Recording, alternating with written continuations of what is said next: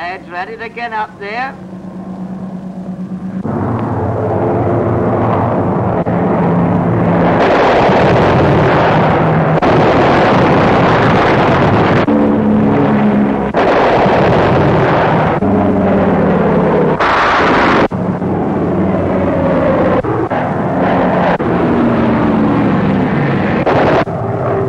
Got that, Jerry?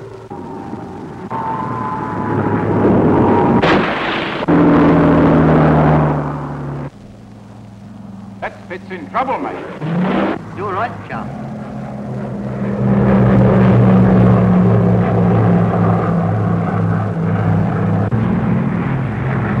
Why don't he bail out? Like, too low, chum, too low. You'll have to go into the drink, you know. Lucky the sea's not too bad.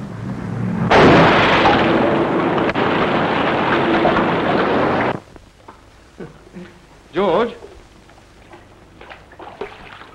Spot of salvage needed here. Right. You know, although that last shot was a model, it's almost exactly the same as happened to me. I remembered a couple of things. Such as? Well, look, let's run through it again, and I'll check over the points as they crop up. Aye, that's a good idea. Of course, that's a real spit. And there's our model again. Just like the real thing. Flaps fully down for a spit. Tail well down, too. And above all, reduced to stalling speed.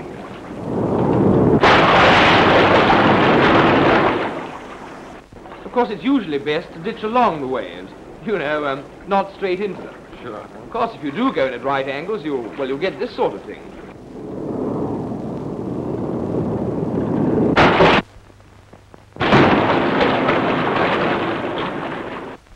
I don't know what you think, but I'm flat out for seeing that again. Here, let's.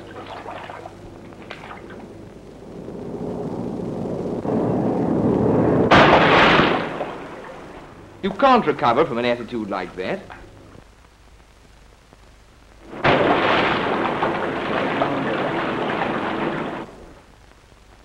I once had to ditch in a Wellington. I remember the trick of getting along the swell, we didn't do so badly.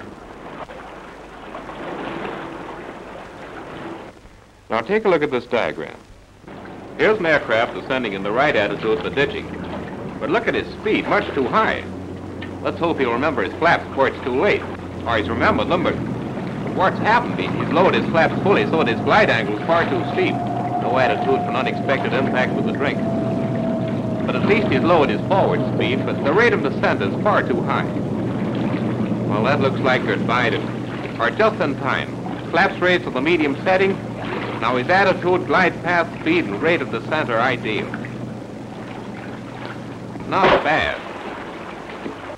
Well, that diagram told the story pretty well. Let's take another look at it. Maybe someday it'll be useful to remember. I think you're right. Attitude.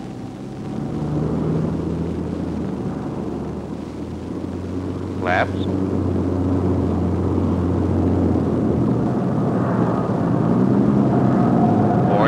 Down.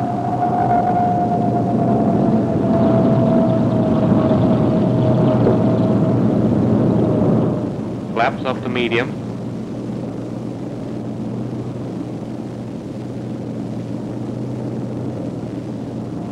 There he is. I once saw a chap in our squadron make a simply wizard ditching in a spit. Old Smoky Trent, you know. Smoky, indeed I do. I trained with him. Oh, and he Did you? came in tail well down, reduced the stalling speed, and ditched right along the waves. Absolutely perfect. Swell, I'd like to have seen that. But tell me, can you do the same thing with a hurricane? Ah. Well, actually, the hurricane's worse than the spit for ditching. The radiate is exactly right to catch the water and upend the plane. Now, this is the sort of thing that happens. Here's a chap who's giving his radiator every possible chance to write him off.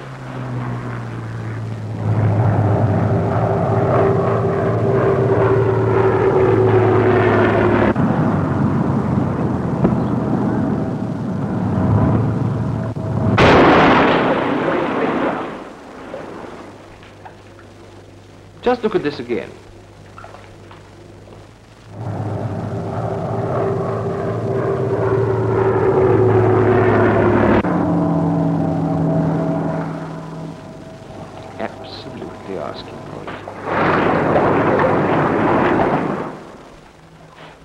Can be done, you know.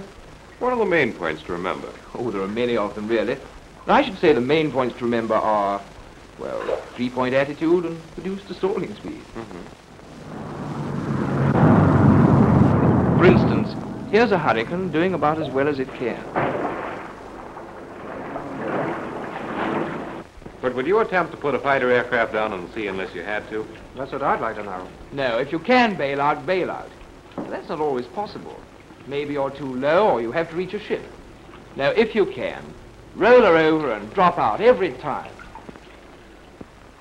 Down one stud on that fan, George. There's one thing I'd like to say that can never be said too often.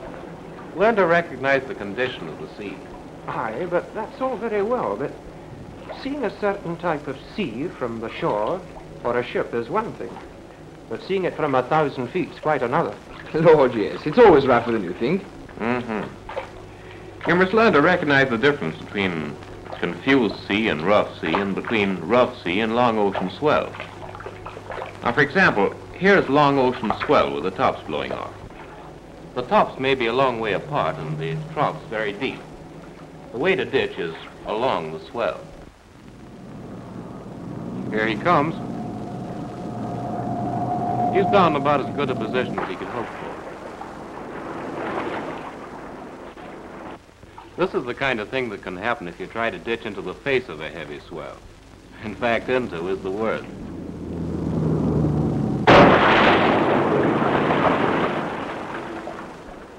Of course, you, you've got to make up your mind what the sea is like while you've still got enough height. About uh, a thousand to five hundred feet. Yes, that's about it. If you leave it till you're pretty well down on the deck, well, it's, it's too late to do anything about it.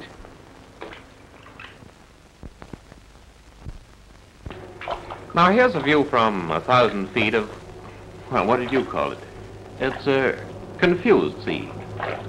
Few white crests, wind about 20 miles an hour. Even in this case, it would be advisable to ditch along the waves. If you see a good many crests, you might rightly assume that the wind speed is about 30 miles an hour. Once again, it's better to ditch along the waves and not into them. You can often get a pretty good idea of wind speed and direction of wind from the sea itself. In open sea, of course, waves move with the wind. What about some gin on glassy calm? Well, in that case, the, the trouble isn't estimation of wind. There isn't any that can help you much. The difficulty is to see the water at all. And that means you can't estimate your height. But every now and again you might spot what the sailors have christened williwaws.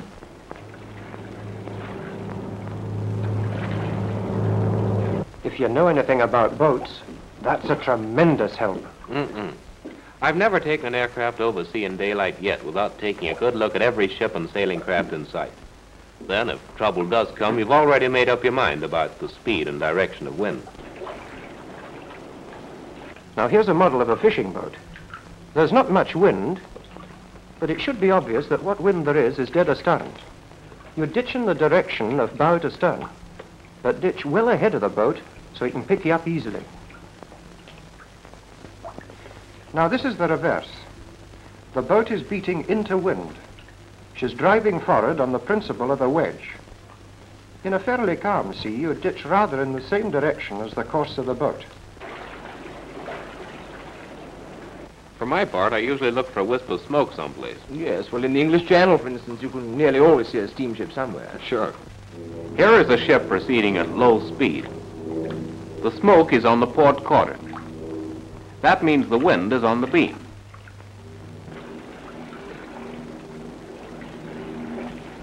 Here's a different situation. Smoke trailed forward on the port side. Where's the wind coming from? Remember, the ship is traveling as well as the wind. The wind direction must therefore be calculated according to two things. First, speed and direction of the ship. Second, the smoke trail. Like this. Somewhere within the angle made by the ship's course and the smoke trail. I saw a Fulmar make a ditching in the Mediterranean. The neatest thing you ever saw. Now, this is the real thing, this shot, not a model. See how he holds off? A three-pointer. One of the ships in our convoy picked him up. That was a bit quick. It certainly was. Let's see it again. Okay.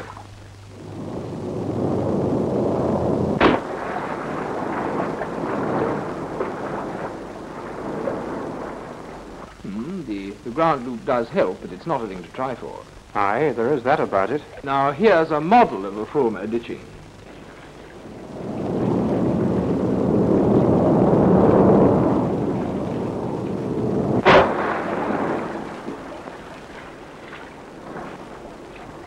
There's sometimes a tendency for a land plane pilot to begin thinking in terms appropriate for a flying boat.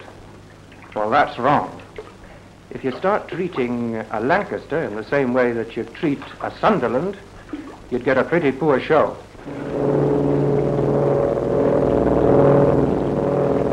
What's your method of approach? Her attitude in relation to the surface? See, the angle's quite different from that of a land plane. See how neatly she parts the water and planes along.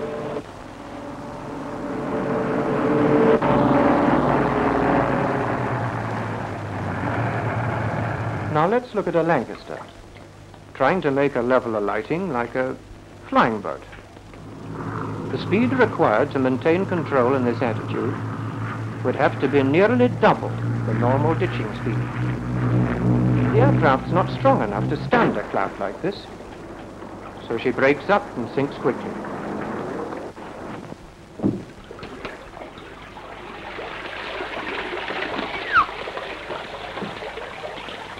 Now, this is the sort of damage you'd expect to find.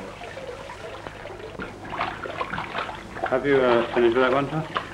Just a second, will you? All right, then. Too bad.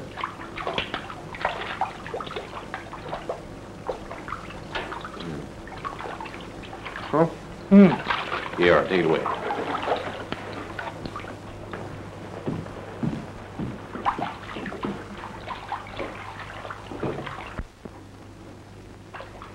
Cigarettes, eh?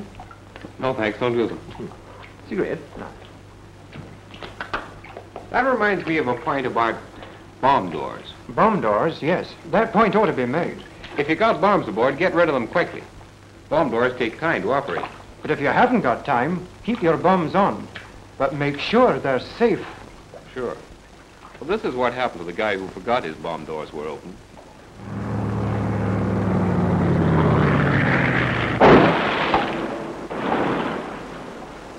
Lets the water in nicely, doesn't it? Yes, but the attitude of the aircraft must be three-pointer, medium flaps, and bomb door shut. There'll be two impacts when she strikes. A slight impact when the tail strikes, and a severe one when the nose comes down. Yes. Yes, I see. The deceleration on the main impact is usually very great. That's why crews at ditching stations must wait for the second impact. Otherwise, you get thrown forward and hurt. But supposing you haven't got all your engines on a heavy aircraft, what's the best thing to do? The great point to remember is to keep your engines if you can. When it's certain you can't reach the coast, well, make the big decision while you've got four motors. Now here's a Liberator with two motors left. It's enough to fly with, and the ditching's not bad. Notice, it's along the troughs.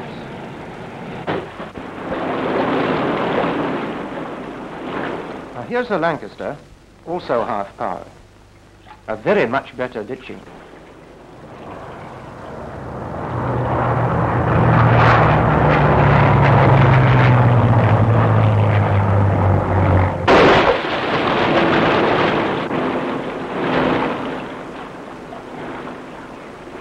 You've got all four motors, you'll have better control over the angle of approach and the rate of descent.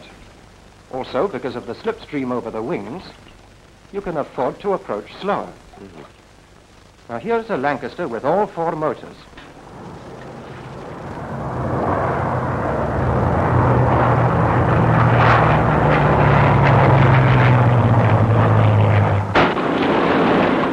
It's a perfect ditching. Let's see it again.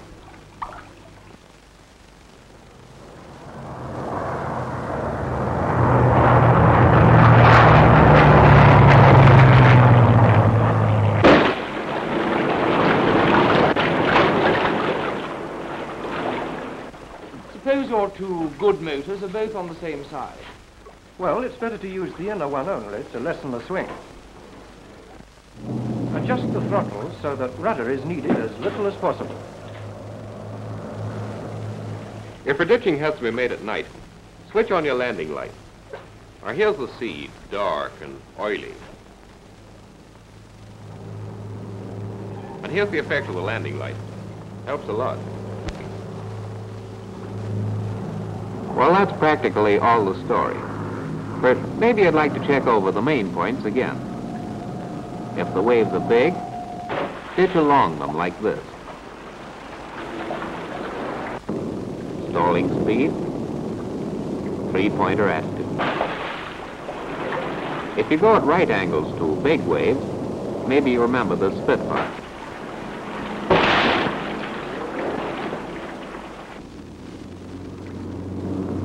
Remember your flaps.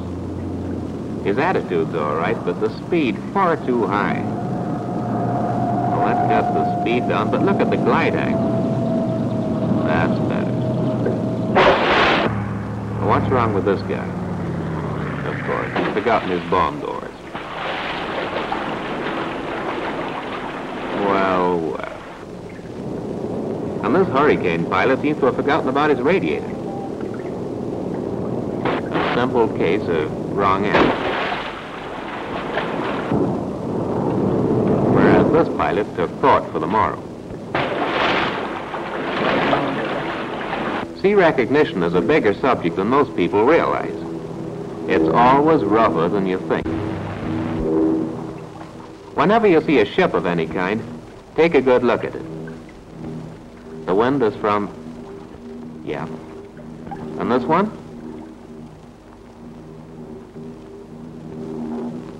Yeah. This boat's tacking pretty well into wind. So come up from her stern and ditch ahead, so that she can pick you up. You remember that shot of an actual full? He gets down to stalling speed and holds off in a three-pointer. And if it's a big aircraft, the same principles still apply. A ditching like this, and there's every hope of England, home and beauty. Naylor here.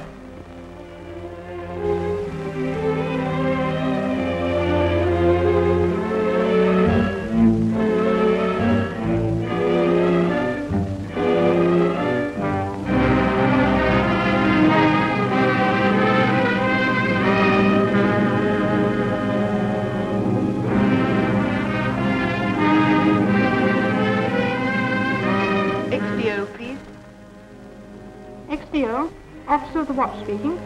Airman in C, 180 degrees, Portland Bill. Eight miles, sir.